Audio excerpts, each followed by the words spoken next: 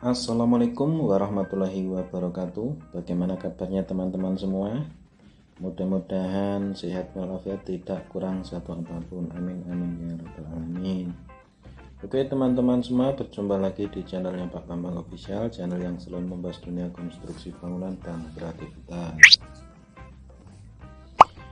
Baik teman-teman di video kali ini saya akan berbagi pengalaman kepada teman-teman semua. Itu cara mengecor kolom tiang. Pagar ya teman-teman. Untuk cara mengaduknya menggunakan cara manual ya teman-teman. Dan ukuran cornya perbandingannya satu semen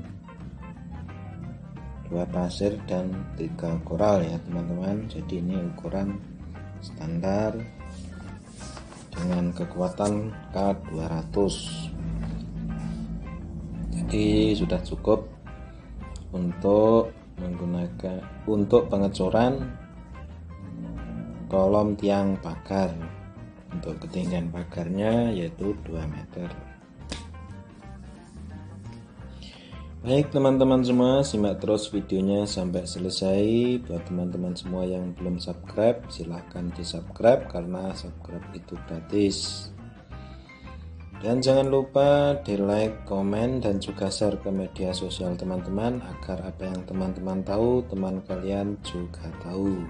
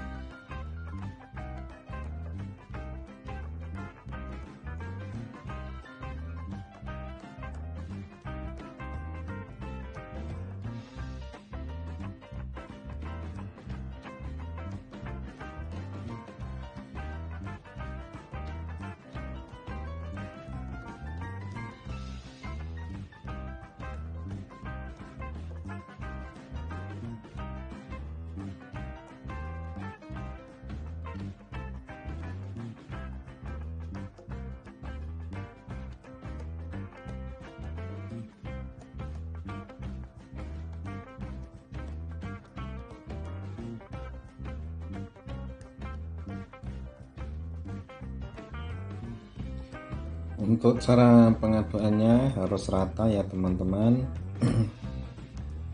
Karena kalau tidak rata semennya menggumpal dan hasilnya kurang maksimal.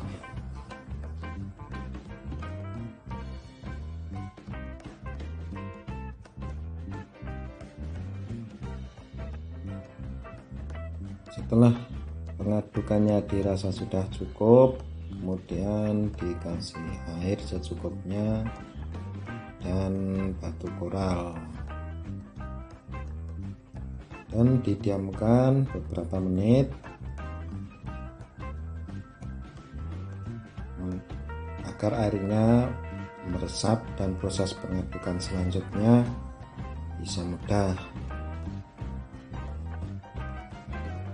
Untuk langkah selanjutnya diaduk sampai rata dengan campuran air, semen, pasir, dan koral ya teman-teman.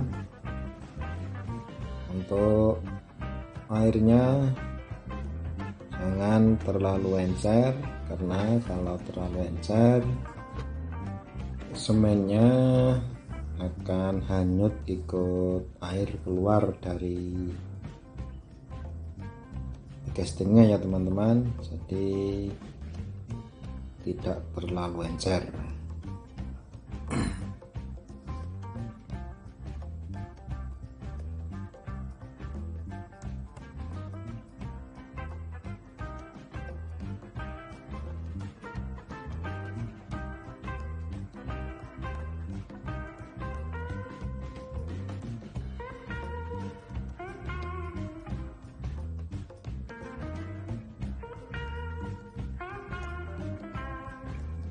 untuk langkah selanjutnya langsung dituangkan ke casting yang sudah disiapkan ya teman-teman.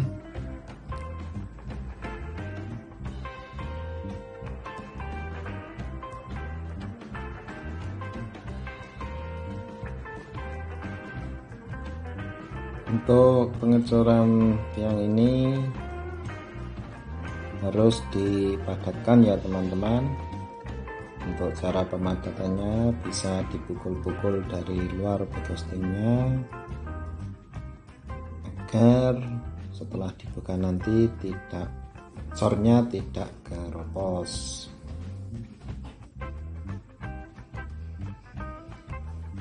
Oke teman-teman untuk mempersingkat durasi waktunya videonya dipercepat ya teman-teman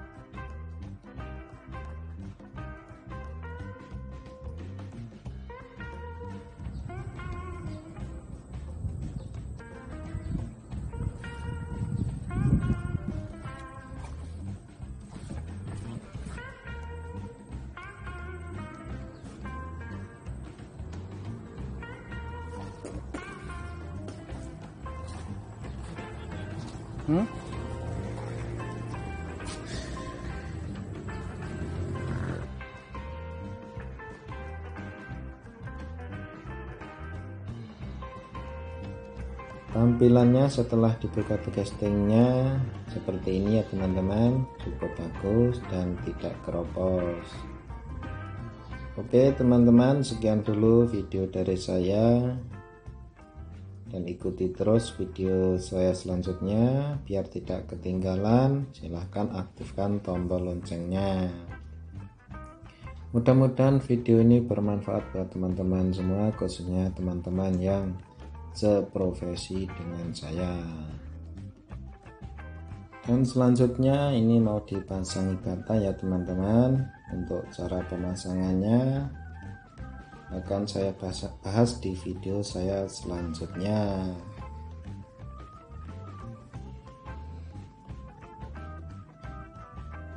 Oke teman-teman semua apabila teman-teman semua berkenan silahkan klik salah satu video yang muncul di layar HP teman-teman ini. Dan akhirnya Assalamualaikum warahmatullahi wabarakatuh